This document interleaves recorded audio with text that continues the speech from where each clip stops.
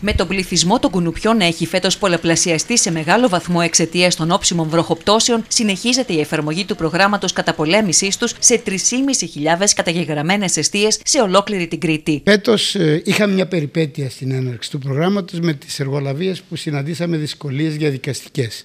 Τελικά όμως έχουμε μια σύμβαση τριετούς διάρκειας, άρα έχουμε εξασφαλίσει και χρήματα, αλλά και κυρίως ε, εργολάβο για τρία χρόνια. Η νέα αιστεία που δημιουργήθηκε μετά τη μόλυνση απολύματα στον Καρτερό αποτελεί σημείο άμεσης επέμβασης των υπηρεσιών που εκτελούν ψεκασμούς μετά τις αποκαλυπτικές εικόνες που κατέγραψε η Κρήτη TV. Δημιουργούνται θέματα δημόσιας υγείας τόσο από τα στάσιμα νερά, από κουνούπια, από έντομα υγειονομικής σημασίας. Ε, πολλά σημαντικά προβλήματα όταν, όσο έχουμε στάσιμα νερά εκεί. Σύμφωνα με τον κύριο Καμπάνη, το πρόβλημα των κουνουπιών αφορά στην υγεία όλων των πολιτών, με την Κρήτη να μην έχει κανένα κρούσμα από τον ιό του Βυτικού Νείλου και μόνο μόνο δύο περιπτώσεις ασθενών με ελονοσία, οι οποίοι ωστόσο είχαν κολλήσει την όσο πριν φτάσουν στο νησί. Αυτή τη στιγμή πλησιάζουμε τα 50 κρούσματα ιού του Δυτικού Νείλου που έχουν εκδηλώσει εγκεφαλίτιδες ε, και μενιγκίτιδες σε όλη την Ελλάδα. Στην Κρήτη αυτή τη στιγμή δεν έχει καταγραφεί. Η ελονοσία μαστίζει και την υπόλοιπη Ελλάδα. Στην Κρήτη μέχρι στιγμής έχουμε μόνο ε,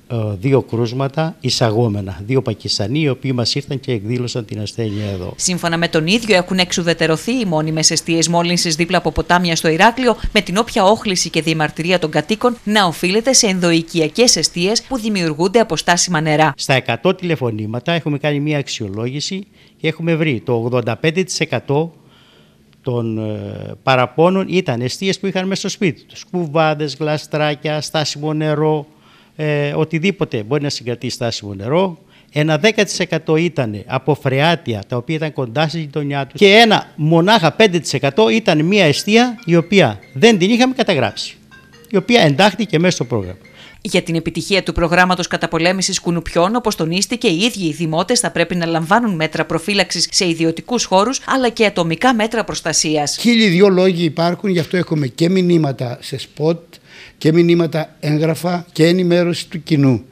Όλοι μας πρέπει να προσέχουμε την αυλή μας. Οι φωτογραφίες είναι αποκαλυπτικές. Πατητήρια, βαρέλια, χαντάκια, ανοιχτές αποχετεύσεις, φραγμένες υδροροέ, αντικείμενα και δοχεία που συγκρατούν νερό αποτελούν αιστείες εκόλαψης των εντόμων, οι οποίες πρέπει να εκενώνονται.